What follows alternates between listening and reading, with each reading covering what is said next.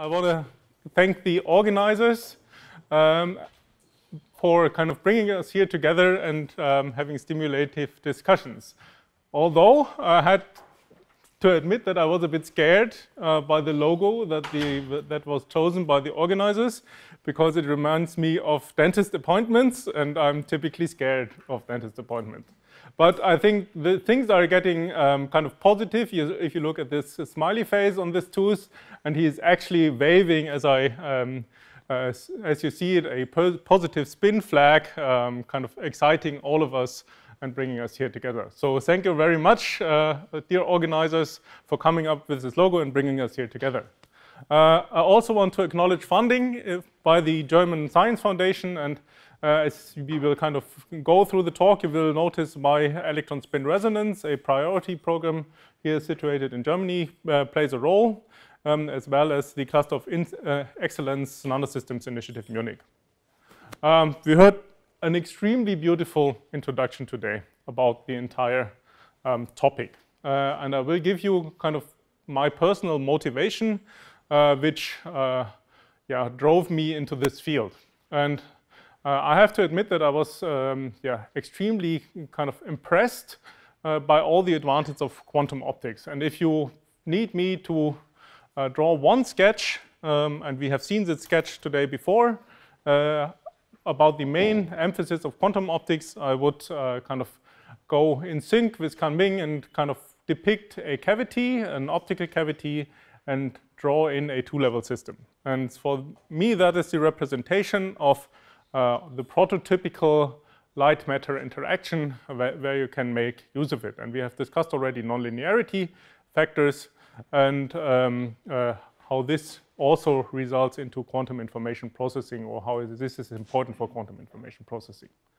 Um, luckily, at some point, and I think it was around 2000, uh, the solid-state physicists joined uh, this field, and I think we could contribute uh, decently to the field of quantum optics uh, by uh, either kind of arranging quantum dots in photonic crystals, uh, coming up with artificial um, um, atoms, uh, here superconducting one into a microwave superconducting cavity, or realize other uh, realms of um, quantum optic um, Hamiltonians by combining here mechanical entity with uh, an optical cavity or a microwave cavity.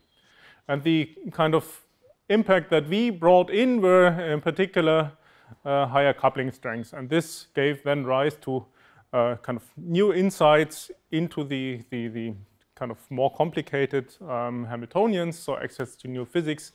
Uh, but for me, as a solid-state spectroscopist, I, I, always think of kind of can we learn more about the solid state and can we use it for sampling applications. So I think these are also two important points. So what I want to, so what my story is about is basically replacing this two-level system uh, by a multi-level system. Um, and the idea behind is that we will use light-matter interaction um, here from, first of all, a generic photonic field with a, a spin degree of freedom. Uh, and I will mainly focus today about this effective coupling strength and how this comes about and how you can uh, manipulate it. I want to kind of spend a word why this is interesting from a uh, application perspective. Um, I think quantum technologies is uh, kind of in the meanwhile a, a, strong leading field and is kind of almost drifting off to the engineering stage. Um, but one of the kind of problems still to tackle is kind of um, long-range communication between quantum information nodes. And one of the um, things that people envisage is a, that they want to use superconducting quantum circuits, which typically operate in the microwave regime, and then upconvert it um, to an optical signal. And uh, what you could envisage is that you come here with your quantum signal, kind of use strong coupling to yeah, convert your photon, your microwave photon, to a spin wave excitation, to a spin excitation, and then read that out, uh, for example, optically. And so this uh, storage and conversion of quantum signals uh, is, I think, uh, a topic which also kind of drives this field. The other one is kind of uh, sensing related, uh, or the question is how can we efficiently access the spin degree of freedom and kind of do spectroscopy with this. Okay. Um, so what is my photon box? Um, Can-Ming showed his photon boxes. I want to show you uh, our photon boxes. Um, we have this Fabry-Perot cavity, and we typically use planarized um, microwave resonators. So what we do is we take a silicon chip, we uh, deposit niobium or aluminium thin films on top of it, and fabricate either with electron beam lithography or optical lithography these um, uh, coaxial structures. So you can envisage this as a kind of planarized coaxial line you see that here is basically a break in the line, and here's a break in the line, which are kind of resembling mirrors. And so you see the analogy between this Fabry-Perot optical cavity and this, um, yeah, mirror, two mirror cavity in the microwave domain. So you have here a standing field pattern, and if you want to see such a cavity in real life, um, then I see, show you here an optical micrograph. What we typically do is we have here a microwave feed line and couple capacitively a microwave um, resonator um, onto it. So this is one type of microwave resonators. The other type of microwave resonators that you can think of is, uh, in a, an electrotechnical sense, an LC resonator. So you have here uh, a coiled up inductor and here a planarized um, capacitor. Both of them work yeah, in a kind of similar high Q fashion. Uh, and it uh, depends on the implementation that you want to achieve, uh, which um, of the two you want to choose. Okay. What about the spin systems? my naive picture, and this is the zero order approximation um, um, of a, a, spin ensemble, is that you take n spins, uh, which are here depicted by the green arrows, and you construct out of that a total a spin angular momentum. And if you do so, you end up with uh, a spin of n over 2, assuming that these have a individual spin of um, s equals 1 half. Uh, and so um, this depicts my naive picture of a macrospin model. And uh, what I want to discuss with you in terms of real systems is uh, spin ensembles. And one is a paramagnetic one and one is an exchange coupled one. So phosphorus doped silicon in yttrium iron garnet. And I'll try to um, show you the differences um, and the different physics that are involved um, in these systems. Okay. If you apply a magnetic field, you can break the degeneracy of this magnetic quantum number and you can introduce uh, magnetic dipole transitions. Um, or you can think of it in uh, an harmonic oscillator picture, you can either say, yeah, my magnetic quantum numbers range from n equals minus one half to n equals plus one half, or I can number the, the excitations from 0, 1, and so, and so forth, and, and so forth, uh, till the, the kind of n plus 1 state. And these are all equally spaced, um, which makes it, uh, in a low excitation regime, a perfect harmonic oscillator. So the kind of fun part or kind of more complex part starts when your excitation number hits the top. Um, then um, this um, yeah, harmonic oscillator becomes more spin-like, so to say, um, and you see um, yeah, deviations or the actual spin nature of this harmonic oscillator. Okay, so what about the coupling? Uh, we just rely on magnetic dipole interaction. You can write this uh, in second quantization. So you have to compute b dot m uh, basically, and what we end up is our two harmonic oscillators um, and the coupling term. And this coupling term, as it was uh, beautifully related to, um, is kind of denoted as a single spin coupling times this uh, square root factor of n, which allows to boost um, um the coupling. So um, the kind of main theme is how can we manipulate this m and what is actually encoded in this n. So up to now, my n um, kind of counts the number of spins in my sample, and I just want to show you that this is not the full truth. Um, I'm coming originally from a electron spin resonance background, so I was uh, puzzled with this description, uh, seemingly, because I learned in my PhD that you can um, exert coherent control out of a spin system. So you can apply pulses and say, okay, I take my spin system, I do a pi over 2 pulse, I kind of prepare it in the equatorial plane. I can do all these magic uh, pulse techniques for finding out coherence times of the spin systems, um, and so on and so forth. And typically you use also a cavity for this. Um, the thing is, and this was uh, for me beautifully laid out in, in this seminal work, um, is that you have to be careful about um, the excitation numbers that you pump into your system. Um, so if your number of excitations are large, and large means large compared um, to the kind of here example of n spins, then you end up into this uh, regime where you uh, have a scaling um, uh, of the Rabi frequency, or here the driven Rabi frequency uh, with the drive power. Uh, so this is kind of proportional to the microwave magnetic field strength. Um, if you are in the low excitation regime, um, then you are basically living here, and there you have your square root n vacuum Rabi um, splitting. Um, and um, I will make today use of basically both regimes uh, for my paramagnetic spin ensemble because there it's kind of way easier to implement. There are other troubles here from the techni technical perspective, uh, um, and I will basically focus on this part for the exchange coupled systems. Uh, to give you some numbers, uh, we heard it, uh, typical numbers are 10 to the 10 spins for phosphorus doped silicon, 10 to the 16 spins uh, for uh, the iron garnet systems.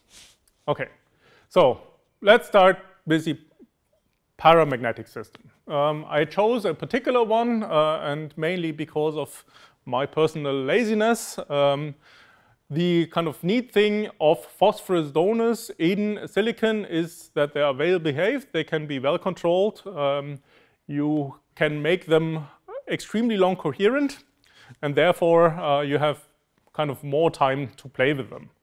Uh, what you should kind of have in mind is that it's an uh, paramagnetic spin electron spin system with an s equals 1 half um, which is localized um, at the donor site. The donor site is the phosphorus donor, which has a nuclear spin of I equals 1 half. And just to kind of give you um, the spectroscopy intro for this, you would write that as a single spin Hamiltonian, as a Zeeman interaction, um, giving uh, or kind of denoting the energy splitting by the magnetic field.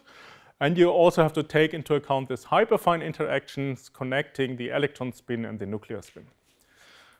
To give you some numbers, this hyperfine interaction is roughly half a micro electron volt um, or um, 4.2 milliteslas in, in separation. That's uh, for an EPR spectroscopy the same thing. And the, the kind of simple picture is that you have, you have this electronic wave function, you have a finite probability of finding the wave function at the site of the nucleus, and so this wave function overlaps give, gives you basically um, this energy separation.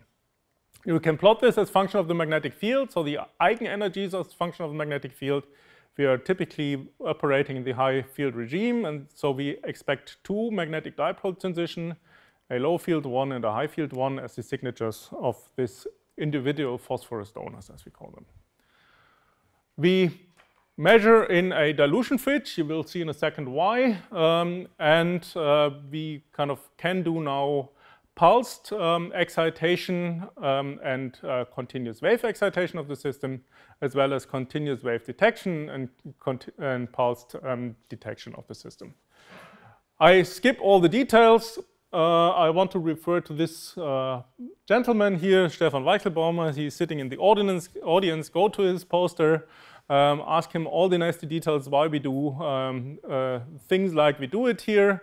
Um, and he can also tell you about all about microwave resonators and coupling of microwave resonators to spin ensembles or phosphorus spin ensembles. Um, the device is uh, here at the mi mixing chamber uh, kind of mounted. You have typical temperatures 20 millikelvin to uh, 500 millikelvin or so. Um, and to give you, and this is kind of situated here in a kind of magnetic field. If you look at this device under test, we have now this kind of uh, lumped element resonators. We can kind of just plug on top of them this silicon samples, the silicon crystals. We just lay it on top and fix them down, and then we uh, start with spectroscopy.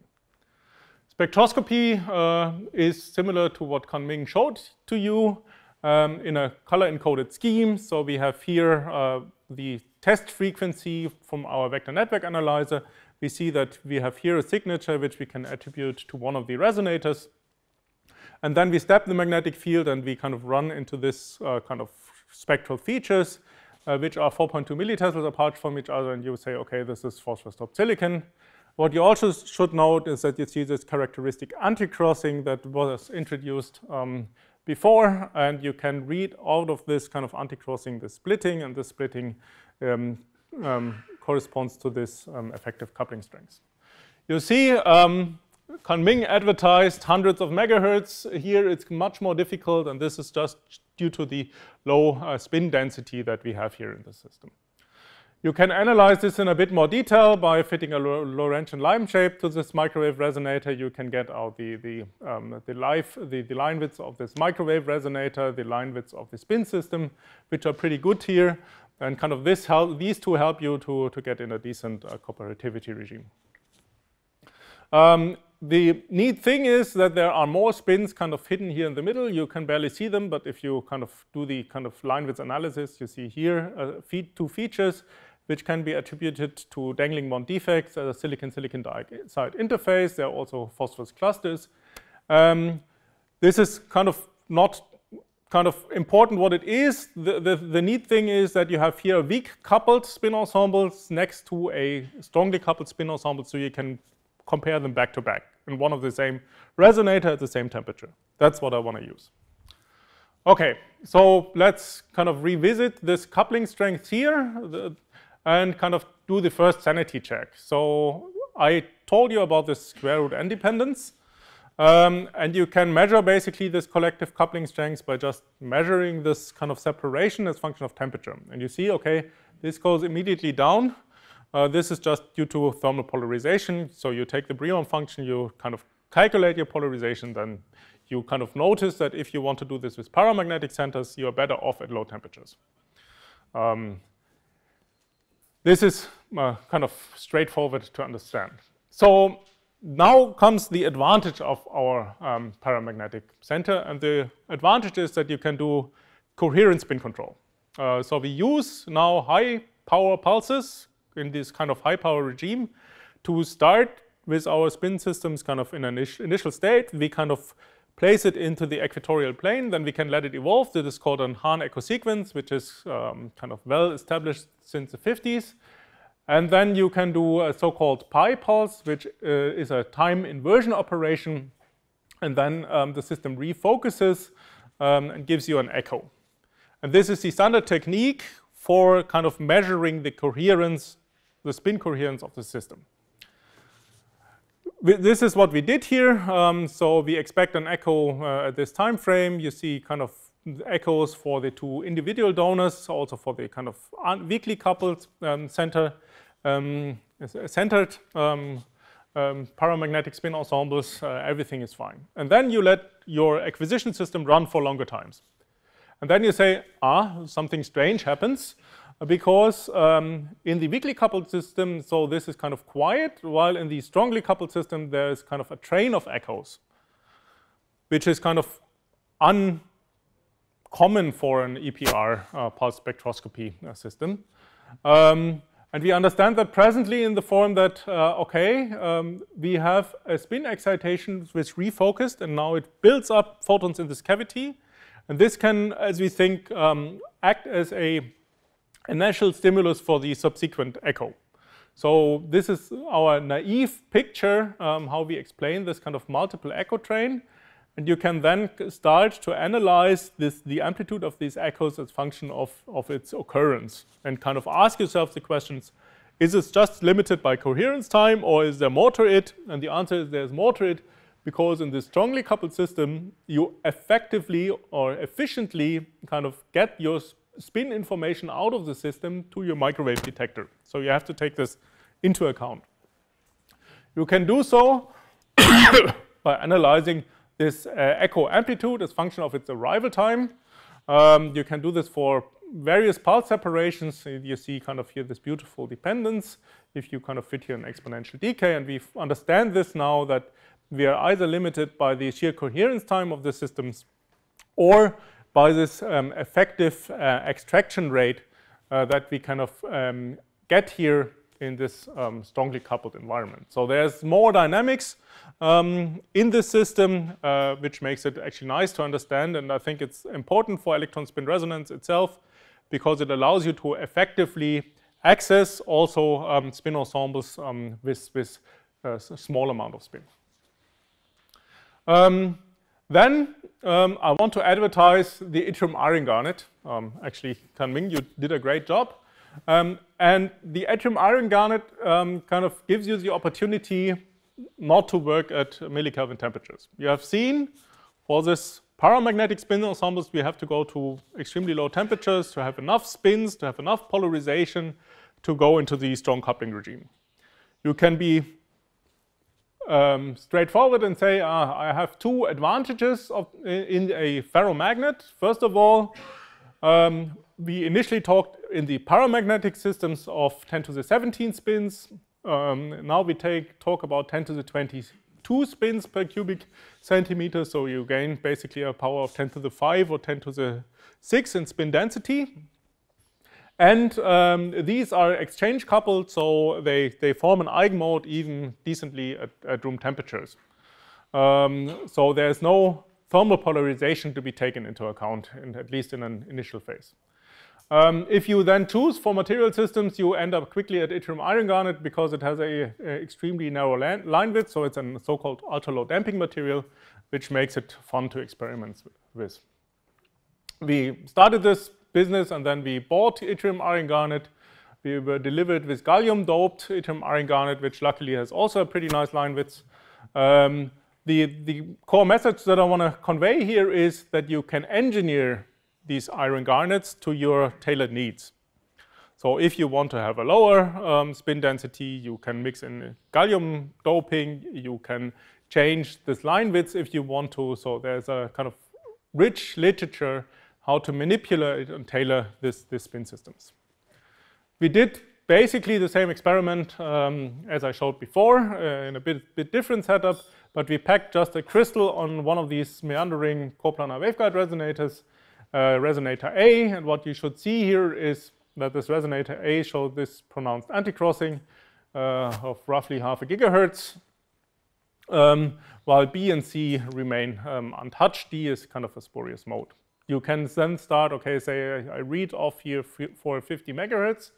That's one way of analyzing it. You can do the same thing as before. You analyze the line width of your microwave resonator as function of the magnetic field, and then you can extract from this data or from fitting an input, so-called input-output formalism, um, the actual um, relaxation rates um, of the system. Um, so this brought us into the strong coupling regime. Um, which uh, made us uh, decently happy at that time.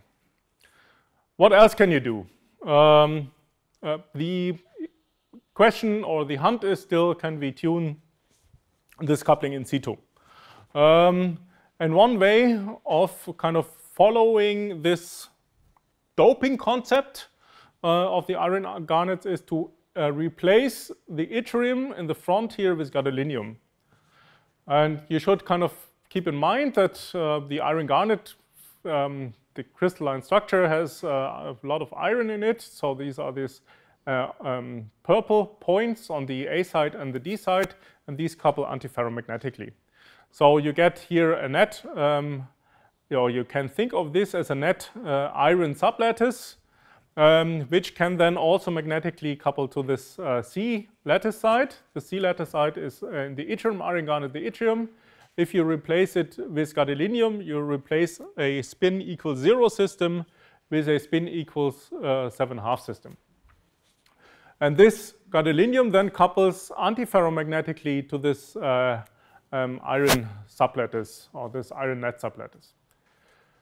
This gadolinium is a so-called exchange boosted paramagnet. So what you can play now with is again temperature and if you kind of look at this green curve, if you go from room temperature basically up to lower temperature, you see that the sublattice magnetization of this gadolinium sublattice increases dramatically.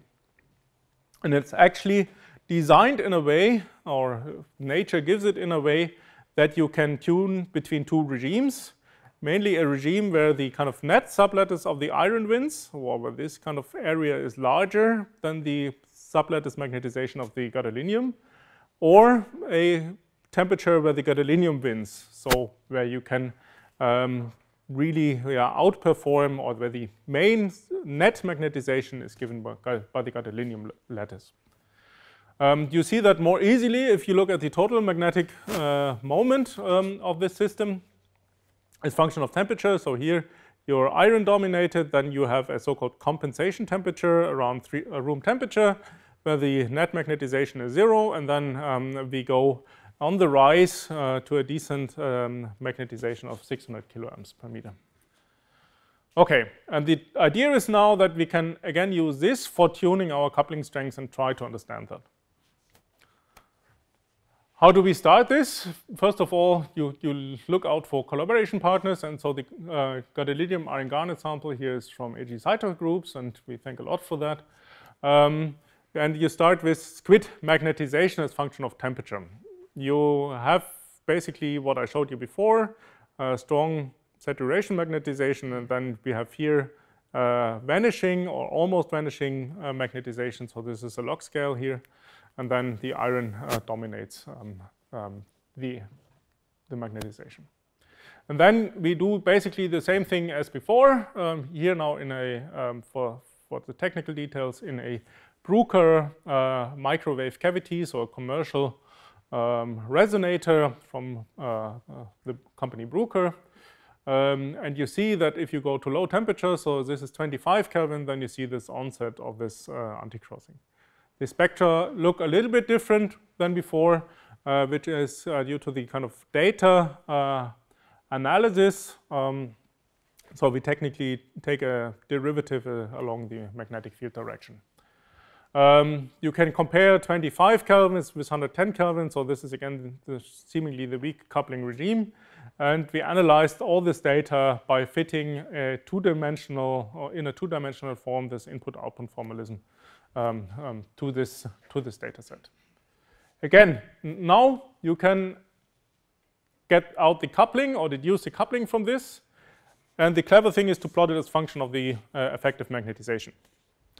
Uh, so what we expect is that G effective is uh, now proportional to the number of spins or to the square root of the number of spins or proportional to the square root of the effective magnetization. So what you would expect is a linear relation between G effective squared and this um, effective magnetization. Uh, and so this is uh, decently visible here um, with a straight line. Um, so this uh, already tells you that um, there's, there's this kind of tuning relation um, is well maintained. You can get more data out of it um, by kind of plotting uh, the, the spin relaxation rate or the, the cavity line width, the cavity relaxation rate here into the same plot. And you see that um, the um, effective coupling as function of temperature uh, for lowering temperature increases. Here but in particular, um, the spin relaxation rate um, goes down and then is smaller than this um, coupling rate, and this uh, brings you to this onset of um, the strong coupling.